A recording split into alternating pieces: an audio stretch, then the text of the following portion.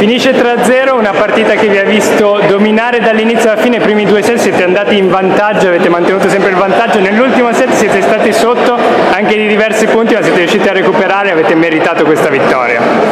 Eh, beh, in realtà eh, la cosa che ci ha eh, fatto vincere stasera è che eravamo determinate a vincere il terzo posto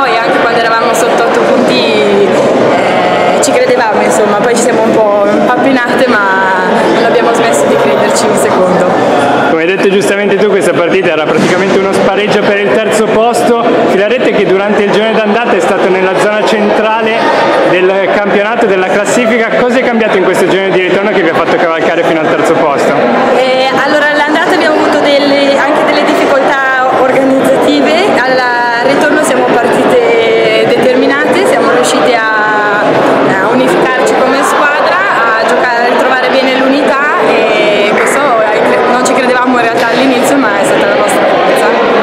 Ultima domanda, se foste riusciti a essere così uniti fin da inizio anno potevate puntare al primo posto ed è l'obiettivo per l'anno prossimo? Ovviamente sì. Grazie mille, gentilissima.